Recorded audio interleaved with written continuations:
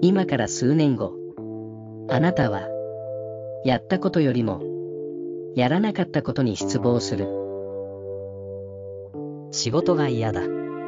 会社が嫌だと。文句を言うのなら、やめてしまえばいい。ただし、辞める前に、本気で仕事に取り組むこと。